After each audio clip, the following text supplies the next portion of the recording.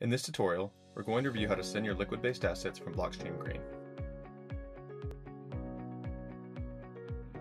To transfer your liquid asset, click Send on the main page of the Blockstream Green app. Keep in mind, transaction fees on the Liquid network are paid in Liquid Bitcoin, so make sure you have some in your wallet before trying to send your asset.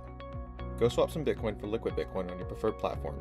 For a list of all the platforms you can acquire Liquid Bitcoin, see our Help Center on Blockstream.com.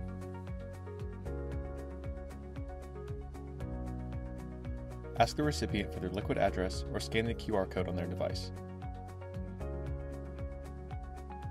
Choose from your list of liquid assets and select the one you would like to send.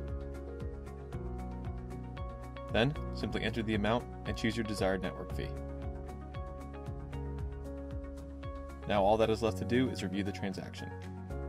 Double check the amount you are sending and confirm that the recipient's address looks correct. After that, simply slide to send and your transaction will be broadcast to the Liquid network. The transfer of your Liquid asset is now complete. For more information on receiving and sending Liquid assets, visit our Help Center on Blockstream.com.